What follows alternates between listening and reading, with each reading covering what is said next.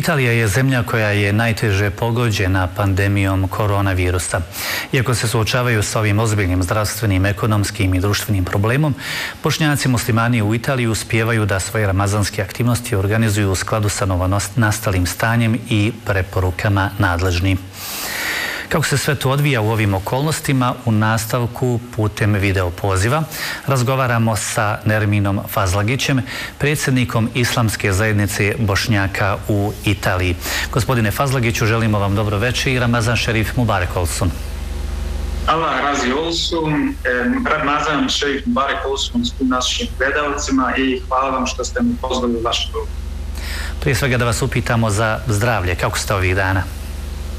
Hvala, dobro sam, evo, uzimajući obzir u kojoj je situaciji, je li Italija, e, dobro sam e, što se tiče ovog virusa koji kruži Italijom, nisam niti imao prilike, da ga e, da se zarazimo uzimajući obzir da sam u karantinu već više od mjesec dana, e, jednostavno jer su zabranjena bilo koja kretanja i, i bilo gdje i mm, moja žena, ona je doktor i ona tako ona je ona koja je najviše pogođena čitavom situacijom obzirom da svakoga dana e, ima, radi sa pacijentima, ali njoj svaki svake sedmice rade te tampone, pa su negativni, tako je to, alhamdulillah, dobro smo u zdravlju.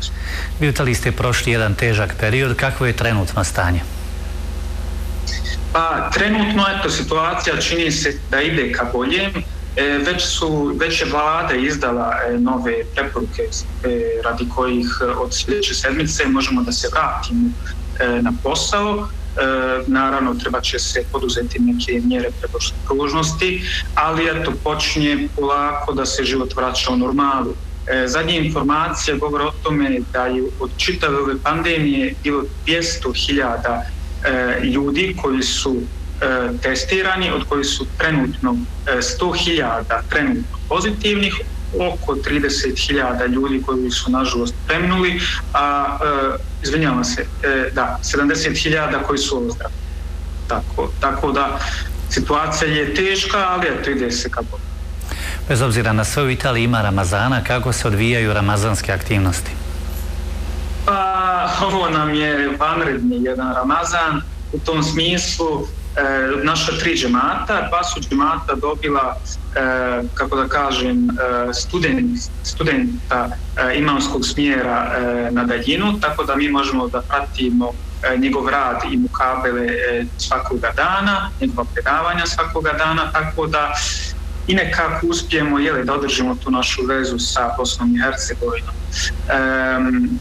Nastojimo da koristimo što više jeli ova e, tehnološka sredstva koja imamo da bismo nekako postakli e, kako i mlađe naraštaje tako i ove starije naraštaje e, da da jednostavno osjete tu čar Ramazdana koju naravno ne može biti onakva kakva bi trebala biti, ali preko ovih programa nastojimo da pratimo programe u Bosni i Hercegovini, e, nastojimo da slušamo šta te vjerske programe u Bosni i Hercegovini. E, isto tako mektepska nastava sada se odvija online i tako eto, u granicama mogućnosti pokušavamo da radimo sve ono što možemo. E, vi ste najmlađa islamska zajednica u Evropi i ranije je bilo muslimana i Ramazana u Italiji, ali ste tek krajem prošle godine zvanično registrovani i započeli sa konkretnim aktivnostima.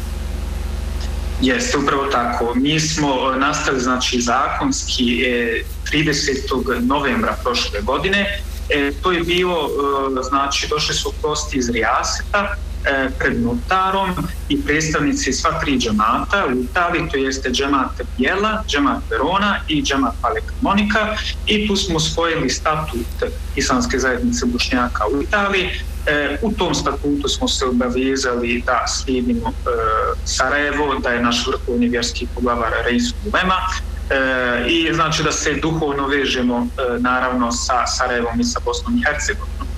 E, tako da e, mogu reći da uzimajući obzir da smo eto najmlađa zajednica i da smo krenuli možda neki bi rekli možda i kasno. Za sada imamo zapažene rezultate u smislu da evo baš prije sedmicu dana su predali ugovor kupovine njihovih prostorija u džematu Bijela i to je sigurno jedna vijest koja svima nama, sve nas puno, puno raduje. Kako funkcionišete? Jeste li zadovoljni interesom građana za jačanjem ove institucije i imate li potrebnu infrastrukturu? Da, e, ovako, e, sigurno smo veoma zadovoljni u smislu da, kao što rekao, krenuli smo u nekako E, kasno u odnosu na druge zajednice. Nismo znali da će se narod htjeti da dozove na ovakav projekat, ali mogu reći da je puno, puno, puno znači e, članova već pristiglo i hoće da se aktivira u ova naša tri džemata. Trenutno kako da kažem, struktura je e, takva da, e, kao što sam rekao, samo na džematu bijeli e, će u buduće imati svoje sobstvene e, prostorije. Što se ova ostala dva džemata tiče, radimo ono što možemo, granicama mogućnosti, znači bez naših prostorija e, nastojimo da e, kako se treba slavimo jeli e, bajrame, nevlude, da ako možemo javne iftare, da uradimo pišretsku novu godinu, mektipsku nastavu, e, da pozovemo izbosne predavače, e, tako, kako da kažem, tek smo na početku, međutim infrastruktura infrastrukturu gradimo sada, a naravno da su sljedeći koraci za nas, da kupimo naše prostorije i ako Bog da, da čim prije raspišemo konkurs za, za imame koji bi ovdje bili za stalno naseljeni i da bi oni mogli nastaviti da uče sve nas i naše, našu djecu, našoj djecu.